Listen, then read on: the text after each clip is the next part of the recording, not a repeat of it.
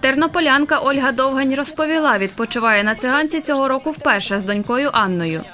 Готують, бачу, готують трошки пляж до відкриття, почистили, е, покосили газони. Ну, досить непогано. Можна взяти лежаки, відпочити от, з дітьми. Є, є двоє рятувальників сиділо. От скільки ми були, сиділи на своєму місці. Були рятувальники. Почистять трошки, може, ще траву. Хотілося б озеро більше почистити, хоча б до буйків, бо досить багато ем, трави. От, видно, навіть купатися мало хто ще. Озеро не чищене багато років. В ньому є дуже багато шкла, бруду. І, Як самі бачите, вода має неприємний запах. Над озером не працював ніхто. Набережну зробили, а озеро брудним залишилося.